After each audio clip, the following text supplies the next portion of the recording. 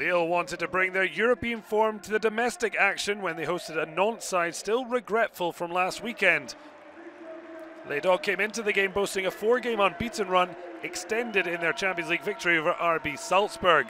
But Jocelyn Gourvennec's side had only triumphed in continental competition in that sequence. No wins in their previous five Ligue 1 Uber Eats games, their worst run since early 2018. The Canaries were level and a man up in the capital, only to lose to a freak own goal and Lionel Messi's first goal in the French top flight. And things weren't looking up inside 10 minutes at the Stade Pierre Mauroy. Burak Yilmaz, the Turk who led Le Dogue to the championship, along with Jonathan David, only his third of the season.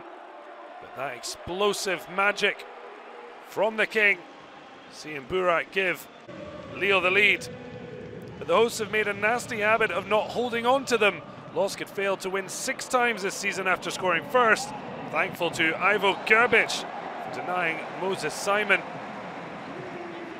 Brilliant work from the Nigerian creator. More assists than goals this season.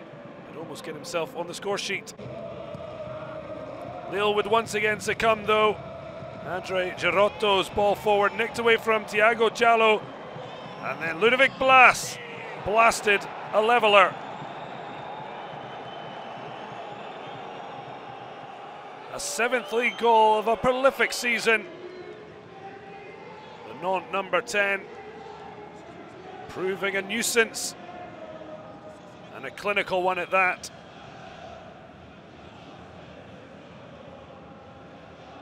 Djalo's slip. Jose Fonte coming across but couldn't stop Blas. And with Lille rocking Nantes spreading their wings despite the Canaries having lost three of their previous four away games. Fabio so unlucky to see his shot off the base of the post. Lille had lost only one of their last 24 games against Nantes in the top flight, yet came off happy to be level. Reinildo, a sign of intent. The home side were looking to rise from their slumber. Alban Lafont with a fine save. Then the match looked to have turned on a penalty decision.